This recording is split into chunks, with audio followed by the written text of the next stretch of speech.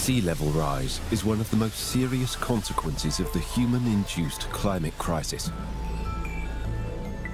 The water rise is from heat expansion of the oceans, melting polar caps, vanishing glaciers, and the loss of fresh water.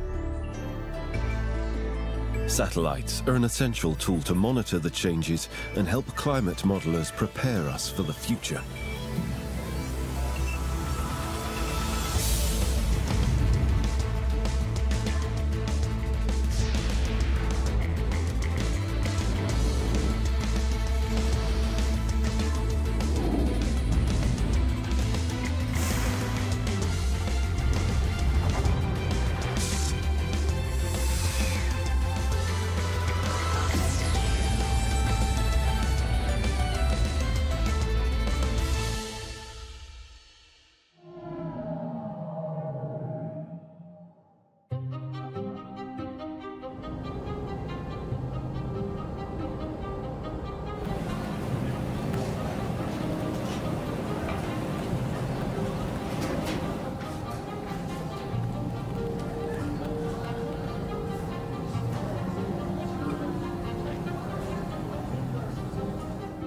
GOES-T satellite in geosynchronous orbit is a recent addition of the next generation of satellites.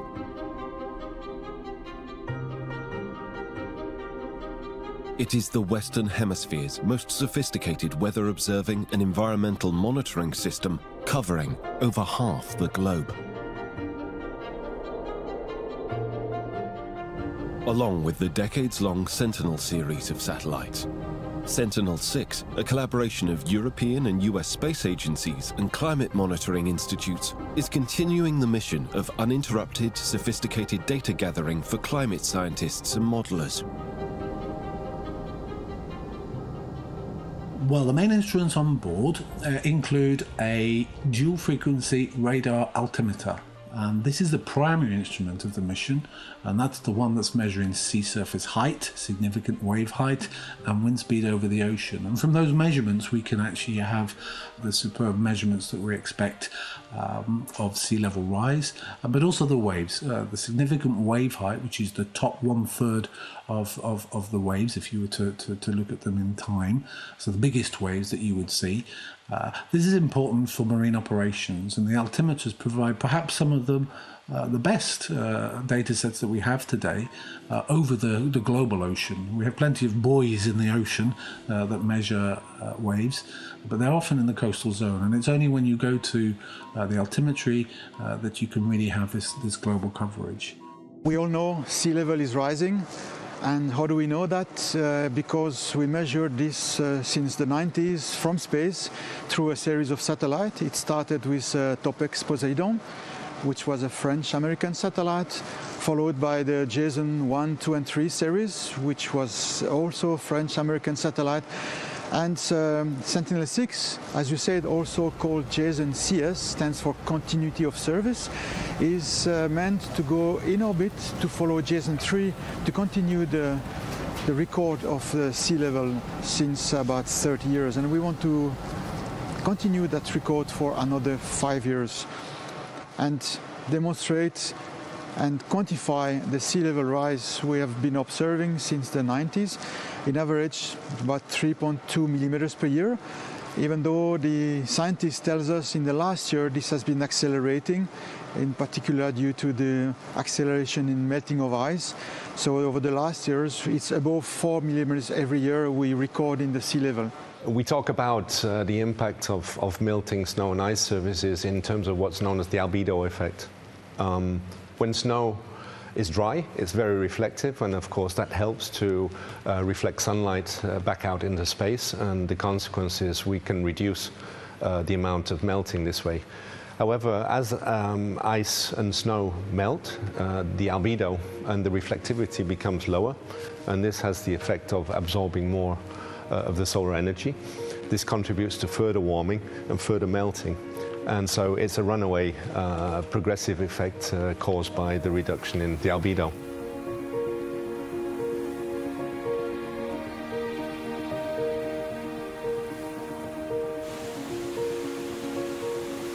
Satellites are a, a major source of uh, global, timely uh, long-term data sets, uh, which is in particular very important for climate because uh, we need to have long-term data series to actually understand how the climate is changing over decades, for example, and to also understand what the trend of these changes are going to be.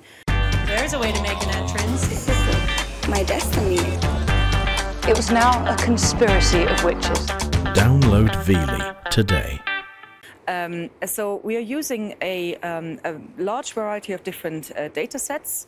Um, we're mainly concentrating on the European Space Agency's data sets, uh, and there's a, a, mixture between uh, data sets that come from, you know, a, a, heritage mission, like for instance Envisat and ERS, because we're looking also back, of course, in, in terms of climate. But we're also using data that are coming in right now, for example, from the Sentinels missions that are running under the uh, Copernicus program that we are running together or collaborating with the uh, European Union and, and EUMETSAT together.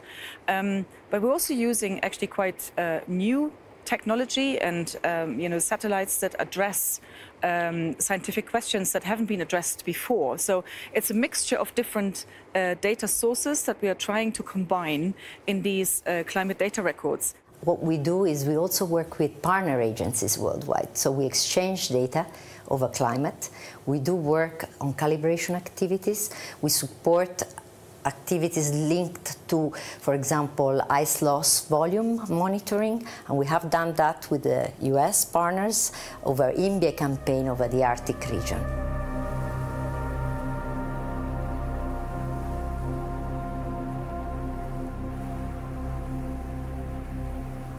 To calibrate the satellites in orbit, scientists on the ground take measurements in situ all around the globe, from the Antarctic to the Arctic and glaciers around the world.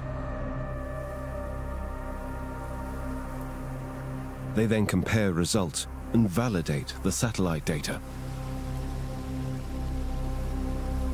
and we're producing climate data records, so long-term data records of uh, climate-relevant um, indicators, let's say. Um, one of them you see behind me. Um, we are um, also producing climate data records for glaciers, um, in particular the extent of the glacier, the, the velocity, um, but also the um, elevation. The ice loss in the Alps is comparably strong. So um, we have similar um, strong mass loss, I think, in the um, Andes of uh, Peru and Bolivia, um, but also in uh, Patagonia. They have similar rates. Um, but uh, the most um, difficult thing or problematic thing is that th this ice loss in the Alps is um, still increasing. So now I, I, think for something like 30, 35 years, we see higher and higher loss. And this takes place despite the fact um, that the region where ice can melt, the so-called ablation region, is shrinking. And uh, this is a very strong signal for um, accelerated climate change and an increased forcing, which means uh, that temperatures have to increase and increase and push the snow line higher and higher so that more um, areas are exposed um, to melt.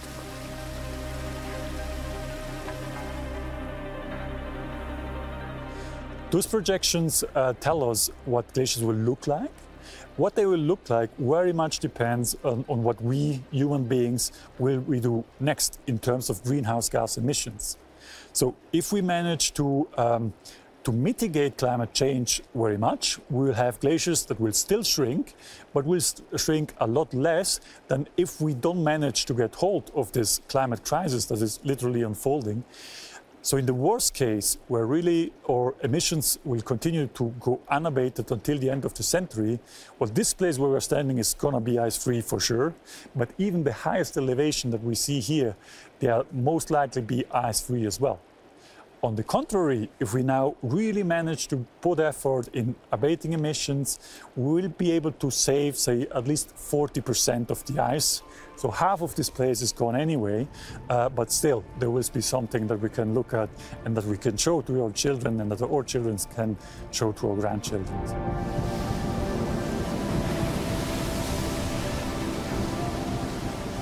I think uh, the recent record since uh, Cryosat, one of our satellites, has been flying has shown that there's quite some fluctuation in, in the amount of ice uh, transferred from land to the ocean.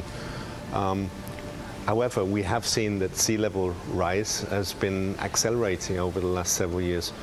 One of the um, uh, reasons is thought to be related to the increased melting of uh, land glaciers. And a recent publication has shown that in fact uh, the contribution of glaciers to sea level uh, rise is increasing.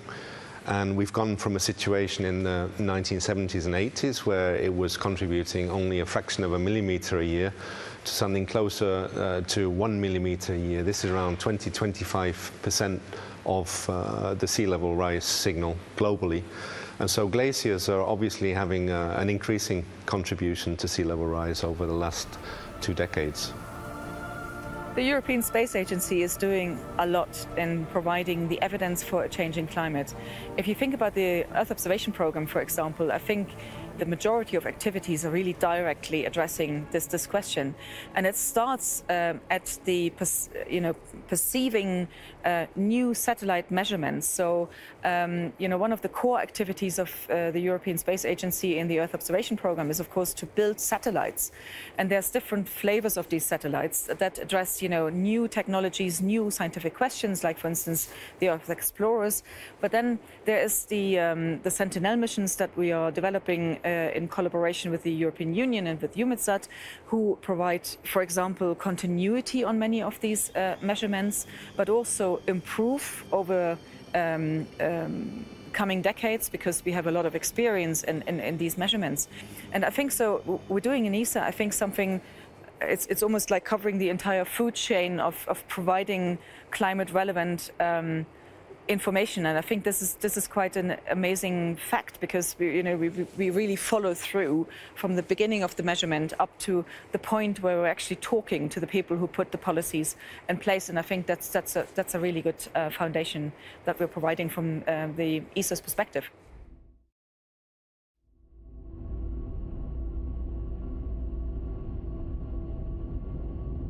So when you fly around the Earth at 400 kilometers, you have a very unique point of view that is at the same time a privilege and a curse. It is a privilege because, of course, not many people get to do it. Not many people get to fly in space and look down at the Earth. It is a curse because what you see is um, at the same time so beautiful and so fragile that it certainly breaks your heart and it it is what inspired me to start talking about what happened, what, what is happening on planet Earth, and about everything that we take for granted today. And as a matter of fact, that same feeling of helpless, helplessness and desire to do something, um, I felt in these last couple of days, talking to the scientists, talking to the explorers, and being myself part of the group on this glacier and looking with my eyes, touching with my hands the same things that I felt from space. So if I if I had to summarize uh, the feelings, which is always hard because feelings don't come in a linear way. They're always they're always very mixed up. I feel a little bit of urgency and because it's me, I also feel hope that people will listen and understand the urgency of what is happening and how fast we have to react before everything that we have will disappear.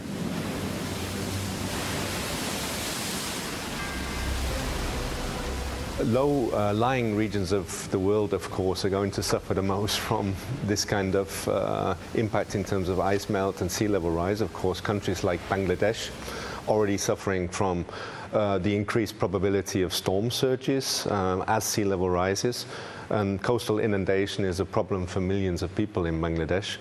Uh, we also see it in more developed countries. We have a situation in Venice uh, during seasons of the year where tidal range and storm surges combine with sea level rise to cause what's known as acqua alta, and there um, the whole of the, the, the, city of Venice is inundated by water on a, on a regular basis during these periods of time.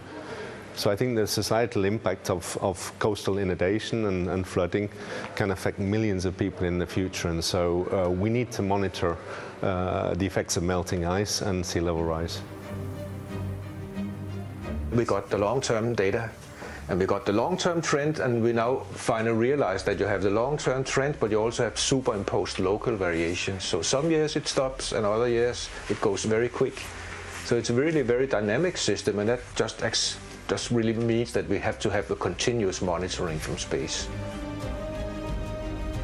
I believe that there is uh, an awareness that is growing, but it's not enough yet.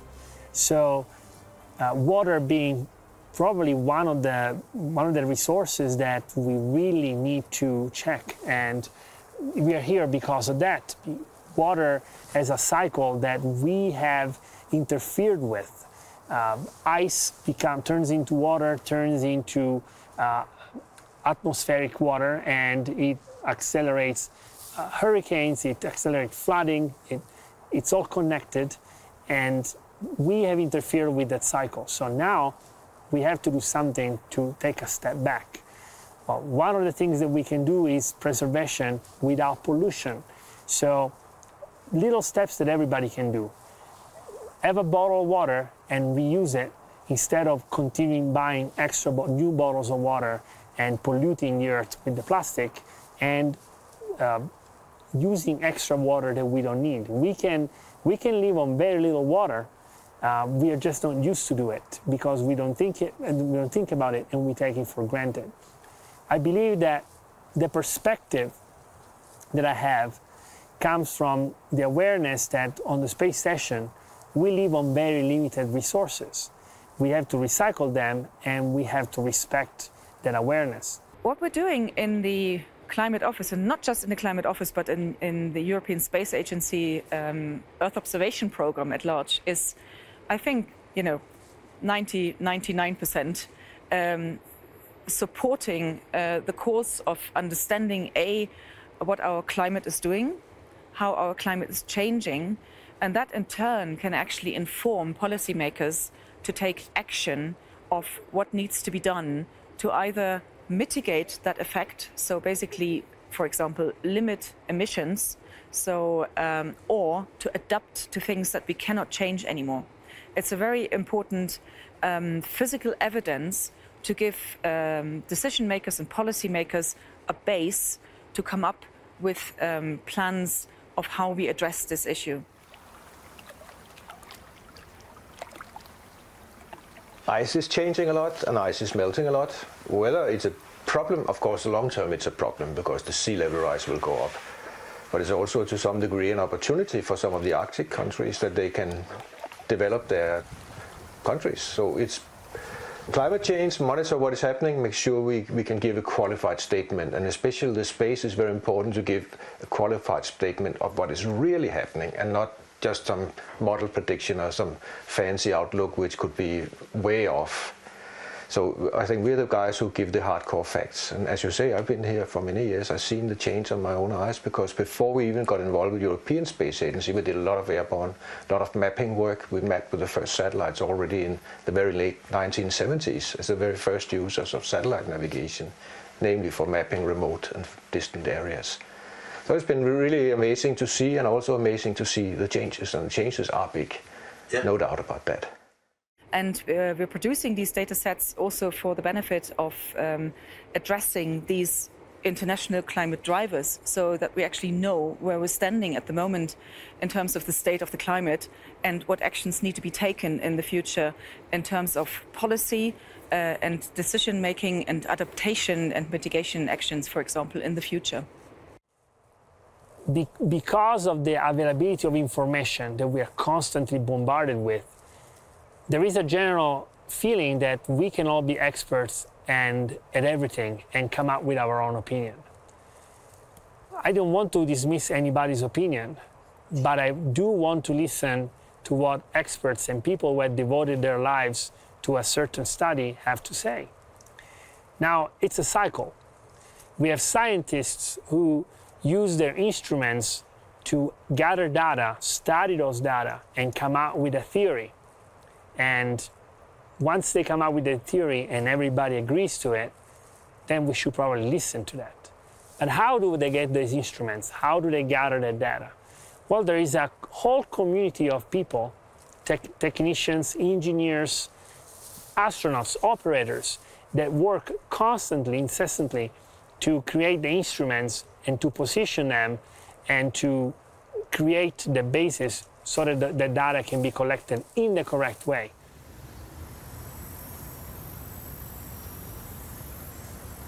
The sea level will go up, no doubt about that. So people in Holland and the very low-lying areas, they should have good reasons to be concerned. So do we in Denmark. But again, right now it's only 10 centimeters, so we are talking uh, 2100, we talk anywhere between 30, 40 centimeter and a meter, then it's a little bit more concerning. And again, that's where this long-term space mission, they would tell these people who make the modeling and the prediction in the future, if they made the modeling earlier, will it really fit what we see today? If you take all the data today, will it fit in 10 years? That's why you have the, the big value of these continuous data. And also the continuous measurements really of do the satellites measure the right thing? Is the radar really measuring the surface or is it measuring somewhere else on the ice? That's, that's all the questions we are, we are concerned with. Most scientists agree we are past the point of no return. Now the focus is on trying to mitigate the most serious effects on the planet.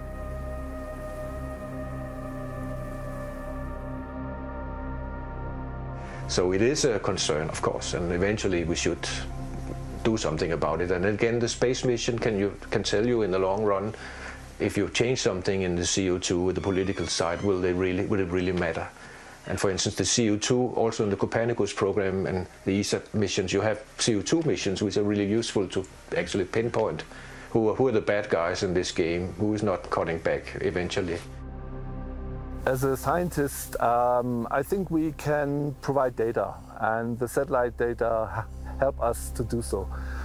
The issue with the glaciers and the shrinking glaciers is a global scale phenomenon where people are really concerned that in the future um, there, there is no more ice or much less ice. And what we can provide as uh, scientists is solid data about how much ice there is how the ice masses change and uh, maybe when you do some computer modeling also how much ice there will be in the future. And um, over the past 20, 30 years, I think the reporting uh, from us was more and more, yes, they are shrinking and glaciers are shrinking globally and they do it stronger and stronger. And we can repeat this information again and again and have it in IPCC reports and say, hey, there's a problem. Um, but of course, in the end, it depends if this message is picked up and um, converted to action. And here is then very soon the place where um, the engagement of scientists end because this is a political thing and um, what we can do is provide the best data and the best uh, uncertainty information we can get and say really we are sure about this and about this and about this and not so sure about this and then politicians have to decide on if they want to do something about it and we hope that at some point this will happen.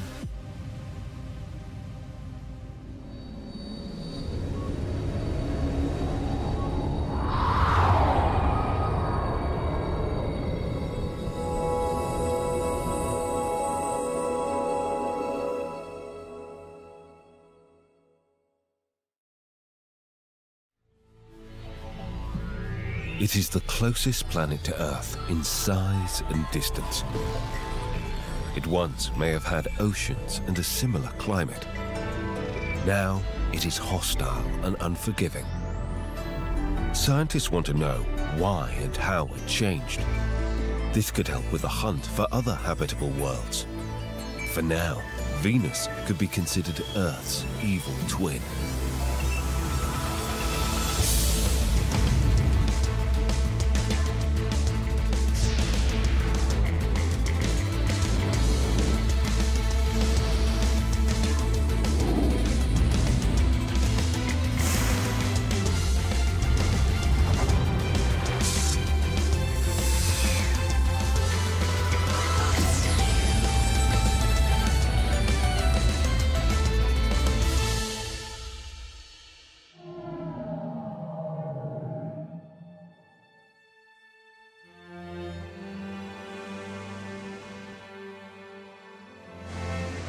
Brightest objects in the sky, Venus has been a world of mystery and conjecture.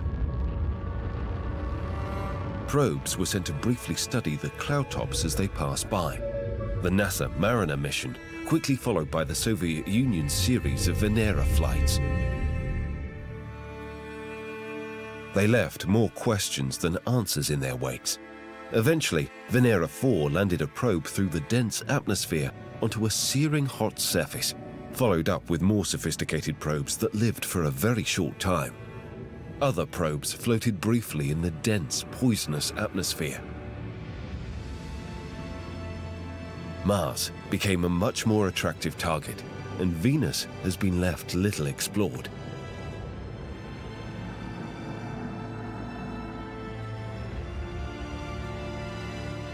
In the late 80s, the Magellan probe was launched from the Space Shuttle.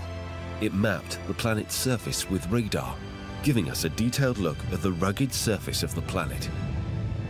Stripping away the dense, thick atmosphere revealed intricate mountains, volcanoes, and lava fields. An uninviting and hazardous environment hot enough to melt lead.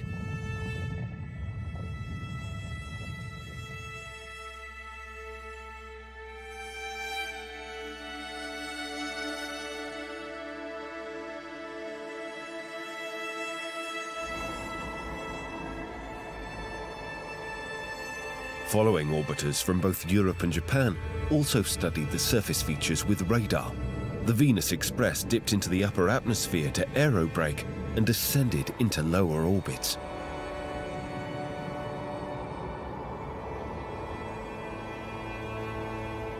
In recent years, several probes have used Venus for gravity assists to propel them to other destinations. BepiColombo, on its way to study Mercury, passed by taking images and other readings.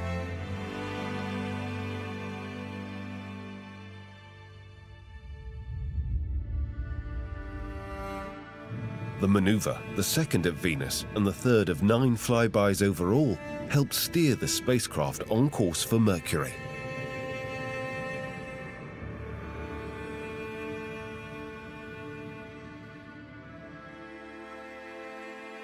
Another European spacecraft, the Solar Orbiter, also utilized Venus for a slingshot as it closed in on its solar orbit.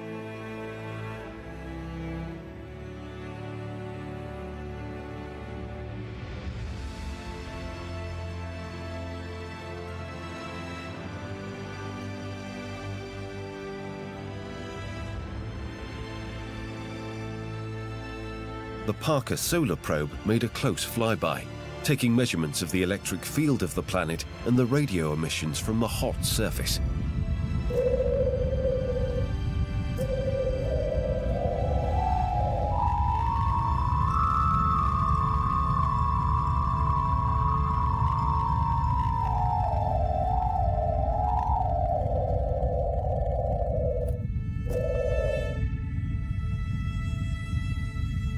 It's thrilling to be able to see something that's never been seen before. This emission that we're seeing is, is thermal emission. Yeah, even on the night side, the surface of Venus is so hot that it's it's glowing uh, uh, faintly at very red wavelengths. These WISPR images, I think, are really exciting because they provide a new window into the lower atmosphere and surface region of Venus where these extreme conditions exist. A faint glow of heat from the night side shows distinctive features like continental regions, plains, and plateaus. A luminescent halo of oxygen in the atmosphere can also be seen surrounding the planet. These observations revealed much about the chemical composition of the surface Another really interesting thing we could look for is potentially mineralogical differences. Different rocks and different minerals emit different levels of heat. Some surprising results suggested that water may have been on Venus in the past, but climatic changes and planetary processes removed the water from the planet and its atmosphere. We have chemical fingerprints in Venus's atmosphere and on its surface, suggesting that Venus might have been habitable in the past. The Wide Field Imager, or WISPR, is the sole imager aboard the Parker Solar Probe. This is something that's truly new, and I believe will yield exciting science in the long term. Once upon a time, Venus might just have been like an early Earth, with oceans, lakes, and rivers of liquid water, a much milder, oxygen rich atmosphere. What changed the environment? Perhaps volcanic eruptions and toxic gases creating an atmosphere of carbon dioxide and sulfuric acid clouds, trapping heat in a greenhouse effect.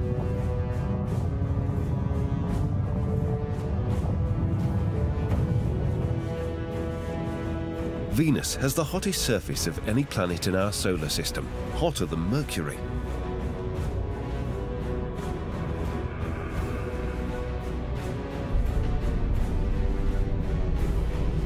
The atmospheric pressure is nearly 75 times greater than that of Earth.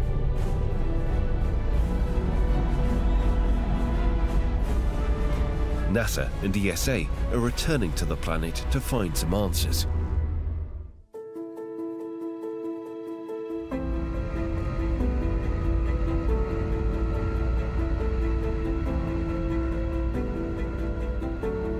Europe is sending the spacecraft Envision, in partnership with NASA, which is providing the synthetic aperture radar system called VENSAR. The S-band radar will also act as a microwave radiometer and altimeter to map the surface.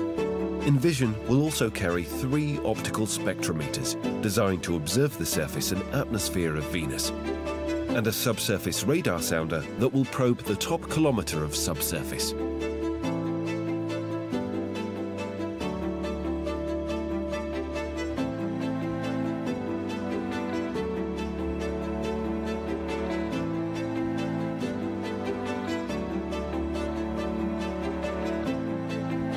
NASA will also be sending Da Vinci and Veritas to Venus, due to be launched around 2029. Veritas stands for Venus Emissivity, Radio Science, INSAR, Topography and Spectroscopy mission. It will also map Venus's surface to determine the planet's geologic history. Germany and France are contributing to the infrared mapper and radar systems to determine whether active volcanoes are releasing water vapor into the atmosphere.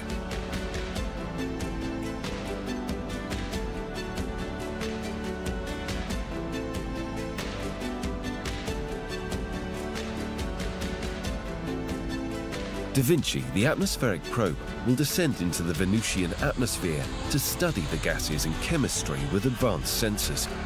It is designed to survive the descent to ground level whilst imaging its journey.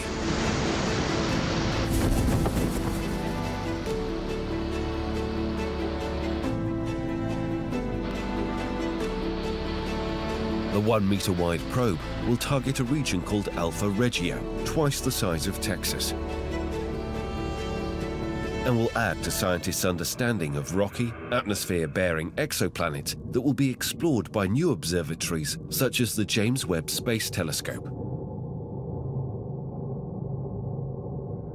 So Venus is cool. Venus is awesome. Venus is, in many ways, one of the most Earth-like planets that we know of. Um, one of the key ways that it's different is that it's very, very dry. With temperatures on the surface of 460 degrees centigrade, and whatever that is in Fahrenheit, you would never expect there to be liquid oceans on the surface. That kind of temperature only boils off that water into steam, but the atmosphere of Venus is still incredibly dry, so where did the steam go? So to talk about how we remove something from a planet, we're going to have to talk about two forces of nature.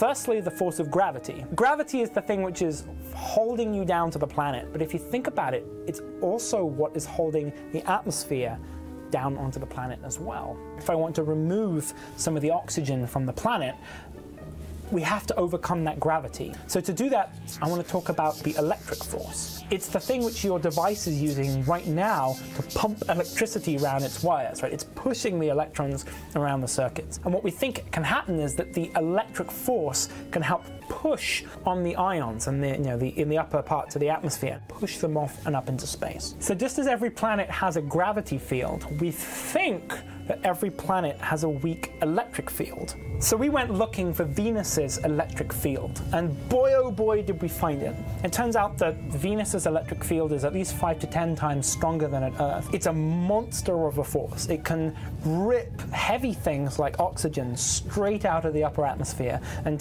send them kicking and screaming off into space.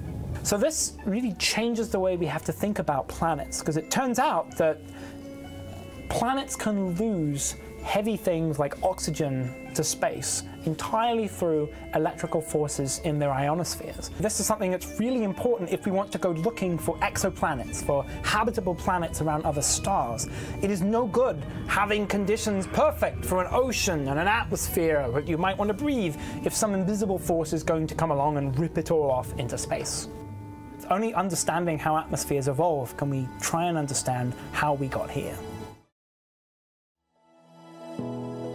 Many orbiting telescopes and instruments are now in use to search for, identify and catalogue exoplanets, planets orbiting other stars. TESS, Kepler, Hubble, James Webb and the Nancy Roman telescopes are looking at planetary formations around various stars. Knowing how Venus evolved would give additional assistance to the planet searchers.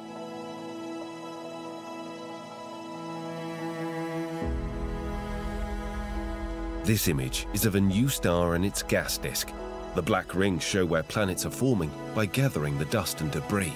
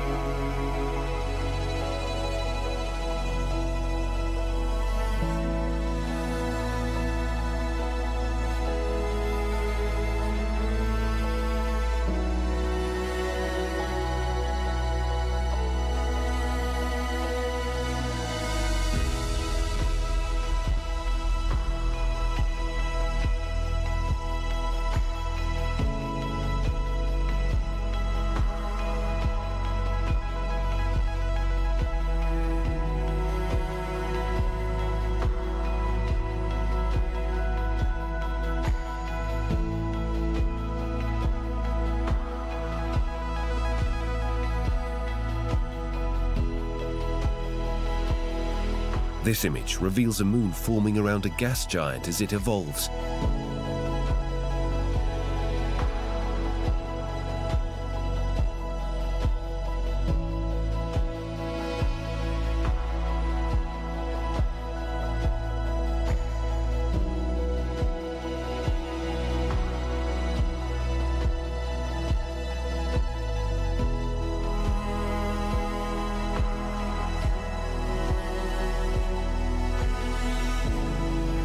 This massive exoplanet orbits a white dwarf, the remnant of a dead star, and is slowly evaporating.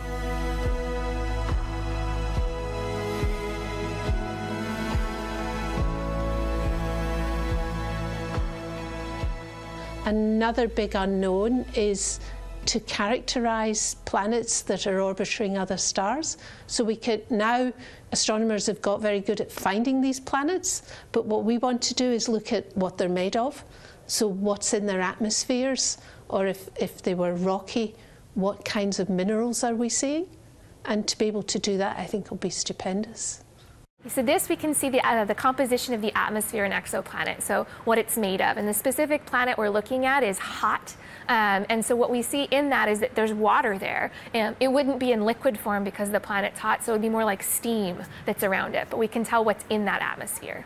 So the James Webb Space Telescope is brilliant in a number of ways. One, it extends our wavelength all the way into the infrared, into the mid-infrared, so we can look for these heat signatures from these planets as well. But that also means we can cover the fingerprints of different materials in the atmosphere. So the Hubble Space Telescope looks for fingerprints of sodium and potassium and water in the atmospheres of these worlds.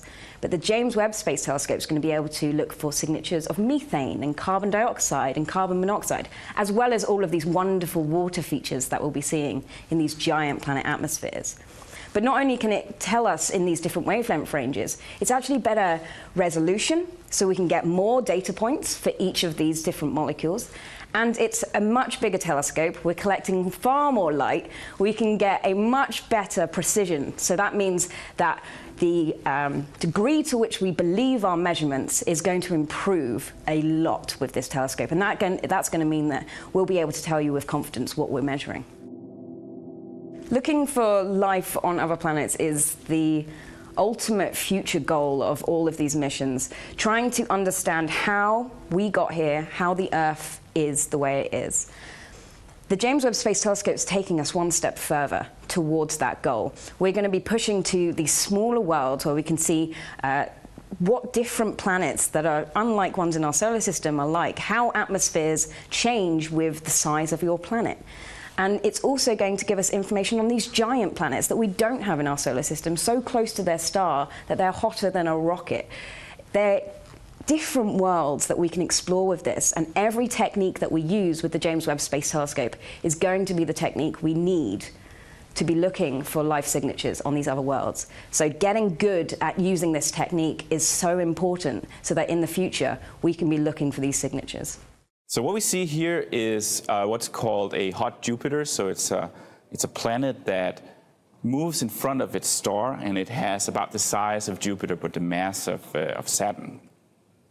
And what we see here is light filters through its atmosphere, and that allows us to look for the fingerprints of certain molecules. And in this case, the planet is full of water vapor, full of water. Um, and that's what you see as wiggles in the spectrum. When we go and look at other exoplanets with Webb, we may look for other molecules, some that are familiar in our own atmosphere here as well, like carbon monoxide, carbon dioxide, or maybe even methane and ozone.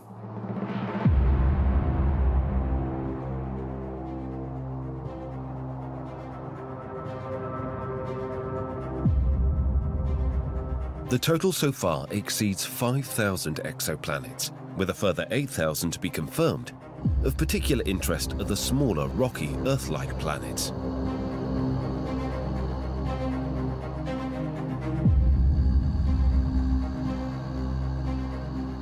We know our targets, they're bright stars which are known to host the type of planets we want to observe, and we will know when these planets transit. That is when the planets move across the disk of the star, and we can measure the changes in the output of the star, the measured output of the star, in order to measure the size of the planet.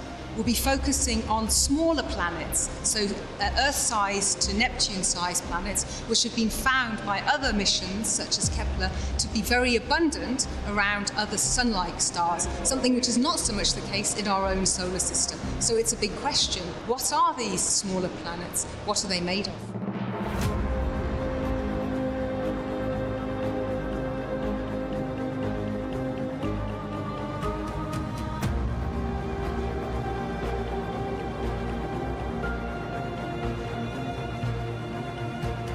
The range of planet types is amazing. Rocky worlds that sustain oceans and lakes, likely candidates for life,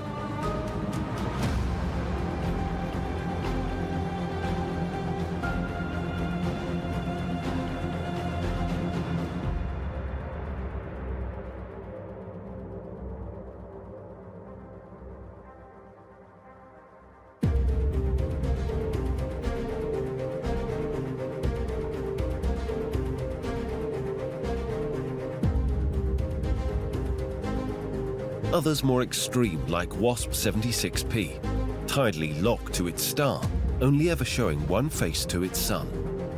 This extreme exoplanet has a day side where metals evaporate and a night side where it rains iron.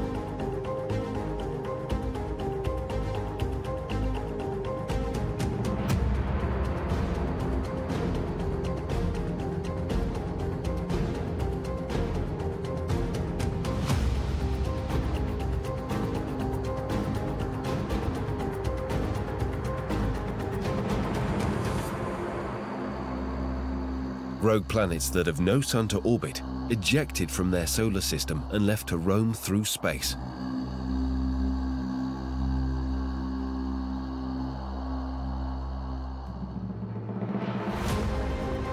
Planets that have the heavy element barium in their atmosphere